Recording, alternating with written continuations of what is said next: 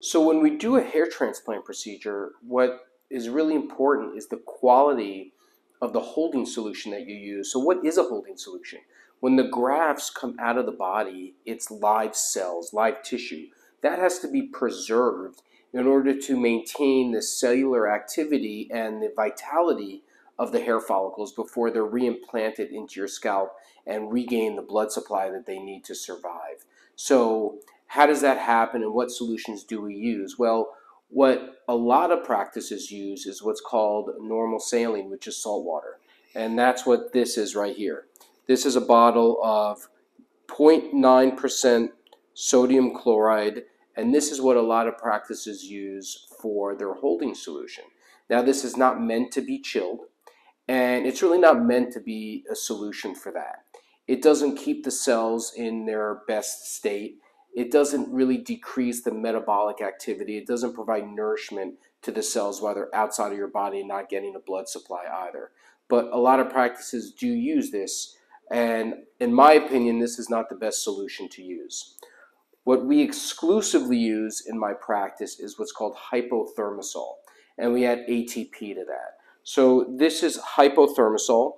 It is a solution that is produced and made to be chilled, and by chilling the solution, it reduces the metabolic activity of the cell, so there's less of what's called metabolic acidosis and potential cell death and cell, you know, the cells being hurt. So you maintain the vitality of the cells, the hair follicle, and better growth and better cells and follicles when you transplant the hair. So the hypothermosol in studies has been shown to be superior and a better solution when the grafts are outside of the body. Now we also add what's called ATP.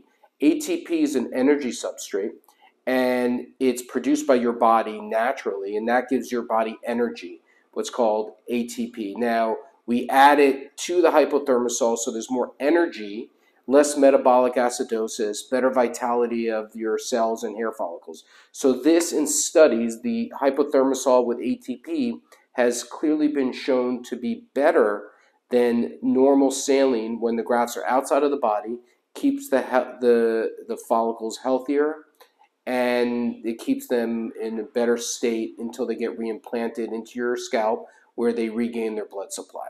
Also, what's important is how the grafts are being chilled.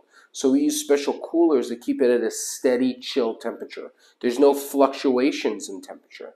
Now, if you used an ice pack or a cooler, that doesn't stay the same temperature. That's going to warm up. It's going to not be the same chill. And, and if you don't replace it frequently, that can be an issue. So we use a special cooler that keeps it at the set temperature, and that makes a big difference in terms of what we're trying to achieve, which is a chill temperature, lowering the metabolic rate, an optimal solution. So we're doing everything possible to optimize the growth of the grafts.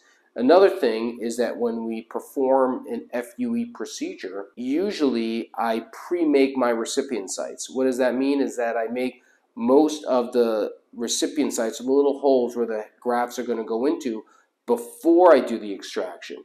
That way, when the grafts are extracted and they're out of the body, they could be reimplanted sooner. So there's less time out of the body. They go back in sooner and that leads to healthier grafts and most likely a better growth and a better outcome as well.